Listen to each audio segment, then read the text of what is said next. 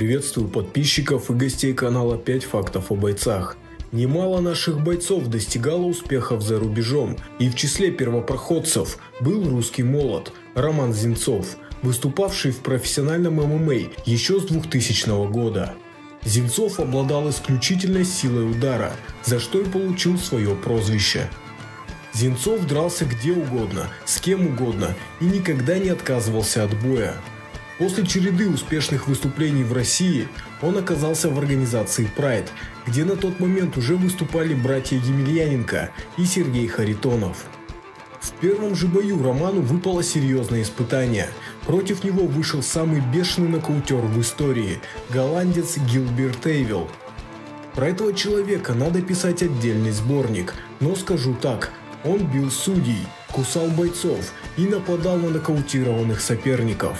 Проблемы с психикой у Эйвила были явные, но при этом невероятно зрелищный и агрессивный стиль боя заставлял организаторов закрывать на это глаза. На Эйвила приходил зритель.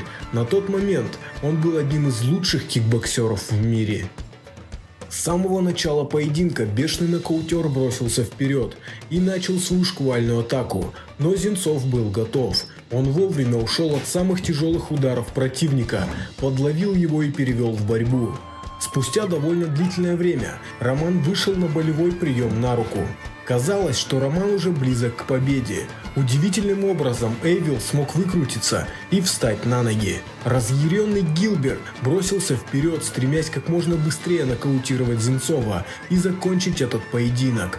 Как только голландец побежал вперед, он нарвался на точный левый навстречу и упал в нокаут. Такого развития событий не ожидал никто. Роман одним ударом одержал победу над столь опасным соперником.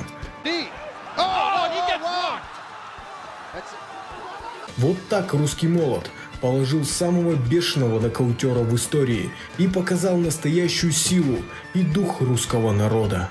Если вам понравился выпуск, ставьте лайк и подписывайтесь на новые выпуски.